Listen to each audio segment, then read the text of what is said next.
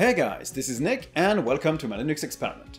And about a month ago I bought a new desktop. It replaced my old Ryzen 5 2600 based desktop and it comes from Slimbook. It is super powerful, it is super slick, it looks beautiful, and it is really just a nice improvement all over. So it's time we took a look at how I bought it, what was the experience of using it, the performance, and all that stuff. Let's begin. Just a small disclaimer, this video is not sponsored by Slimbook, they didn't send me the computer for free or gift it to me, I bought it, I had to pay for it, and I didn't submit this video review to them before publishing it. That's it. Now, the Slimbook Kymera is Slimbook's desktop. It comes either with regular cooling or with water cooling, but I went with a regular cooling system because I know nothing about water cooling and wouldn't have been able to service the desktop myself if need be. I went with a Ryzen 7 5800X mounted on an Aorus 570X Pro motherboard. The graphics card is an Nvidia RTX 3070 and it has 32GB of DDR4 RAM. I also installed my own 2TB M.2 NVMe SSD inside. Now this is a big step up from the Ryzen 5 2600 and RTX 2060 combo I used previously. The case itself is something you might find in other shops, but it's personalized nicely with a laser-etched Slimbook logo. You can also ask for your own stuff to be etched onto the surface, in my case it's my logo. Looks pretty good if you ask me, but I might be biased. The Slimbook actually asked me where I wanted to place the logo, which size I wanted to make it, and they sent me preview pictures to ensure that it all looked like I wanted. Now top-notch service here. The case is made out of aluminum for the front and the top, and the sides are both removable glass panels held by four thumb screws. I must say I really love the look of this case. It's got an old Mac Pro vibe, but in a smaller form factor and a bit more modern. The glass panels let you see the internals as they run, and since the Slimbook team did a good job with cable management and assembly, it all looks pretty nice and tidy. It's super easy to open with just four thumb screws to remove the glass panel, and everything is nicely accessible. Now I also wanted to minimize the amount of RGB LEDs present inside of the case. I didn't want my computer to light up like a Christmas tree. I'm not a big fan of that gaudy gamer super colorful look. But they couldn't provide me with a graphics card that didn't light up or with RAM that didn't light up. I was expecting to disable it afterwards, but in the end it used, it's pretty slim, it's not that many lights and honestly it doesn't look too bad. There's also a slim beam of light just coming out from the bottom of the case, which looks pretty good, at least you know if it's turned on or not. I mean, why not? Now the sides also serve as air intake, with two big fans pulling air in from the front. Now the I.O. on the case itself is pretty good as well, with two USB 3 ports on the side, easily accessible, a headphone jack, the microphone jack, and the reset button. The power button is on the top, next to a smaller one letting you control the LED color for the bottom lighting. All the hardware is perfectly supported under Manjaro and under Elementary OS 6 as well, which means that anything based on Ubuntu 20.04 LTS or higher should be able to use that kind of hardware. I guess that was to be expected since Slimbook only sells devices that are supposed to run with Linux, so everything should work fine here.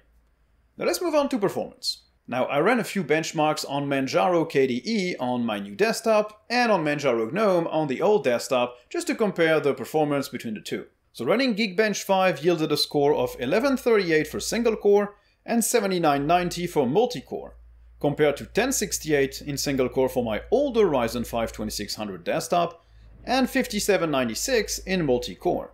Now my new Slimbook Kymera gives me an almost 40% improvement in terms of multi-core performance.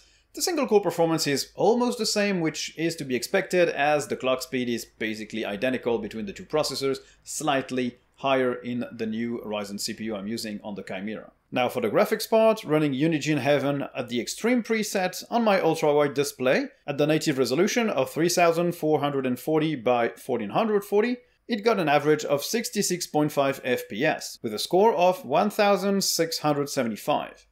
The highest FPS it got was 119, and the lowest was 8.7, probably when loading the initial scene. My previous desktop using an RTX 2060 and the Ryzen 5 2600 had the same presets, but on the 16 by 9 1440p monitor at its native resolution got 52.8 FPS with a score of 1330. Now that's a 25% improvement here, and keep in mind that the older desktop was running the benchmark on a lower resolution because it's not on an ultra-wide display so it has less pixels to push. So basically it's an impressive margin already. But enough about those artificial benchmarks. Now let's take a look at how it can run games. Running Shadow of the Tomb Raider at max settings on the native resolution for my ultra-wide display, the Kymera got 96 FPS on average, rarely dipping below 90 even in the busiest scenes. My older desktop, on the same presets, and on the 16x9 1440p display, got 63 FPS on average, which is 52% lower than the Kymera, and on a lower total resolution as well. That's still more than 50% better performance on the Kymera. Running the Total War Warhammer 2 benchmark with everything cranked up to the max on the native resolution on my ultra-wide display, the Kymera got 72.6 FPS on average, with an 86 high and a 61 FPS low. This computer can run this game at a nice 60 FPS without any issues at max settings. Of course it's not an extremely demanding game, but it's still pretty CPU heavy, so it's a very nice score. My previous desktop, at the same settings and on the 16x9 1440p display, could only reach 19.3 FPS on average, which is barely playable at all. Framerate got no higher than 22 and dipped all the way to 16 FPS. On this game, it makes a huge difference, as battles are way more enjoyable when zoomed up close, and at lower details, the game shows its age. That amounts to a 62% increase in performance on the Kymera. Now to finish, on the older desktop, the Dawn of War 3 benchmark with everything turned up to the max could only reach 49.8 FPS on average, with a lowest point of 7 and a high of 80. It's definitely playable, but not super smooth. On the Kymera, on the ultra-wide display at native resolution and max details, I got 93.55 on average, with a minimum of 74.26 FPS and a maximum of 139. This is an enormous difference of 87% in favor of the Kymera, and again, while driving a higher resolution. Okay, so the performance gain is really huge. Depending on the game, it goes from 50% to 87% better FPS. That's just an amazing difference, and of course it was going to be more powerful, it has a way better CPU, a way better GPU, and faster RAM, so obviously it was going to be higher. But still, the performance difference is enough that I can use every game at max settings, at least every game that I play, at max settings on my ultra-wide display at the maximum resolution and still be able to take advantage of that 100Hz refresh rate from the display, which is exactly what I wanted. So there were still some issues with the desktop, specifically one issue. When I got it, I think the Slimbook team might have been a little bit over enthusiastic with the overclocking. Running it in day-to-day -day operations was fine, but as soon as I jumped into a game of Total War Warhammer 2, it played for about 10 minutes and then completely froze and broke the computer entirely. The computer was frozen, nothing was responsive, and it ended up rebooting with CPU temps pretty high, at 17 degrees Celsius even at idle. So it was definitely something about the voltage and the CPU overclock. Fortunately, a complete reset of the BIOS parameters solved the issue entirely, and the Slimbook team had been very helpful trying to helped me narrow down the issue, even on Twitter and even on the weekend, which was pretty amazing, so props to these guys. Now apart from that, I literally have no issue with the case or the desktop itself. It's really well assembled, the performance is amazing, the case looks good. The only problem that you might run into is that the reset button is super close to the headphone jack and the USB ports, so maybe if you fumble a little bit, you might be able to press the reset button instead of plugging in something, but it never happened to me in more than a month of use, so I don't think that's really an issue. Now to conclude, this new Slimbook Kymera is my new workstation for my day job, for which it is definitely overkill for when I'm working from home, but it's also my main workstation for running the channel. It's used to record videos, to edit them, to export them, and also to game. And for those tasks, the improvements are really noticeable.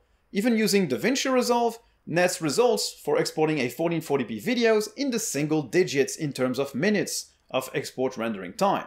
On the older desktop, it was definitely around 15 to 16, so there's basically a 50 to 60% improvement in terms of the speed of video rendering, which makes making 1440p 60fps videos a lot more manageable because you don't lose as much time, and the computer is much more reactive while editing all of that. Now the gaming experience is also super smooth, and it lets me enjoy my full resolution of my ultra-wide display with 100Hz refresh rate so I can cap it at 100fps with VSync, is just an amazing experience. It's all I wanted from my computer, basically. Now, you can probably assemble the same PC with similar specs or better specs for the same price, if you want to do it yourself, but I have literally zero interest in building my own computer. I don't really know much about it, and that's not something I want to expend time on, so I was very happy to have it pre-built for me. You can configure the same build on Slimbook's website, or any other one if you prefer. They've got Intel CPUs, AMD CPUs, water cooling, AMD GPUs, NVIDIA GPUs.